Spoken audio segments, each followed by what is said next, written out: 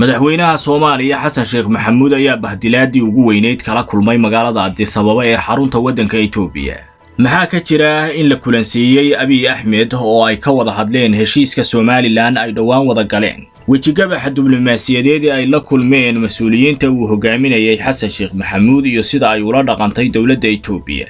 ayaa noqotay mid muujinaysa aqoonsiga somalilan iyo sida loogu kala adkaaday heshiiska taariikhiga. ah warbixinteennan ayaynu ku soo koobaynaa wararkii ugu dambeeyey. Tan iyo markii uu madaxweynaha soomaaliya xasan sheekh maxamuud ka degay magaalada adisababa ee xarunta waddanka etoobiya ayaa waxaa isbedelay aragtidii laga aaminsanaa ee ahayd inuu difaacayo dhulka soomaalida sida oo kalena si weyn uga soo horjeedo dowladda etoobiya isagoo hore ugu tilmaamay inay tahay cadowga soomaalida ayaa mar kale waxa soo ifbaxay damaca dhabta ah ee xasan sheekh maxamuud iyo doonistiisa rasmiga ah oo ah inaanu etoobiya u diidanayn bad hase yeeshee uu diidan yahay heshiiska ay somalilan wada galeen. Markii uu ka degay adis ababa oo ay soo dhoweeyeen ciidanka waddanka etoobiya iyo sidoo kale mas'uuliyiin sarsare oo ka tirsan xukuumadda ra'iisul wasaare abiy axmed ayaa dareen gaara lahayd inkasta oo aan meeqaamkiisii iyo mansabkii u mudnaa xasan sheekh maxamuud lagu soo dhoweyn hase yeeshee waxa uu ku qanacsanaa in dowladda etoobiya mas'uuliyiin ka tirsani ay ku qaabileen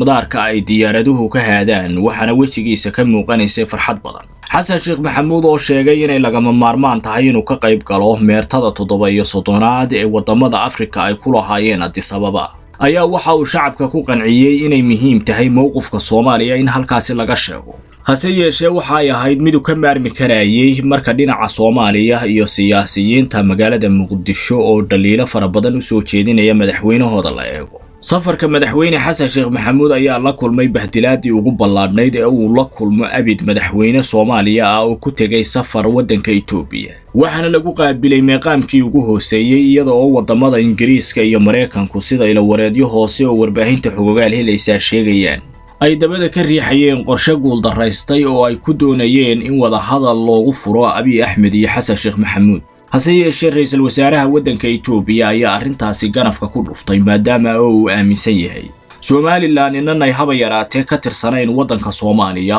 oo uu waddan madax bannaan la galay heshiis. Waxaana uu sheegay baahi uu qabo hadalka xasan sheekh maxamuud iyo waxuu kala hadlaa inanay jirin wakhtigan xaadirka. ah heshiiska somalilan iyo etoobiyana uu dhaqan geli doono maalmaha iyo toddobaadada fooda inugu soo haya madaxweynaha waddanka jabuuti ismaaciil cumar geelle oo aqoonsiga somalilan si weyn ula diriraya ayaa isaguna qayb ka ahaa. Isu jeedidda labada dhinac hase yeeshee guuldarro ayay kala kulmeen sida ilawareedyo diblomaasiyadeed sheegayaan waxaana arrintaasi si cad u diiday ra'iisul wasaaraha waddanka etoobiya abiy axmed oo markan u arkaya damiciisii iyo kii somalilanba inay hirgaleen si diblomaasiyadaysanna looga adkaaday siyaasiyiinta magaalada muqdisho. Safarka uu ku tegay xasan sheekh maxamuud oo aanu kala tashan siyaasiyiinta saamileyda ka ah siyaasadda waddanka soomaaliya ayaa faa'iidooyin waaweyn oo siyaasadeed u horseeday somalilan iyo etoobiya waxaana kow ka ah kala jajab iyo khilaaf ka dhex qarxay siyaasiyiintii midaysnaa ee waddanka soomaaliya kuwaasi oo aan la dhacsanayn markan tallaabooyinka uu qaaday madaxweyne xasan sheekh maxamuud.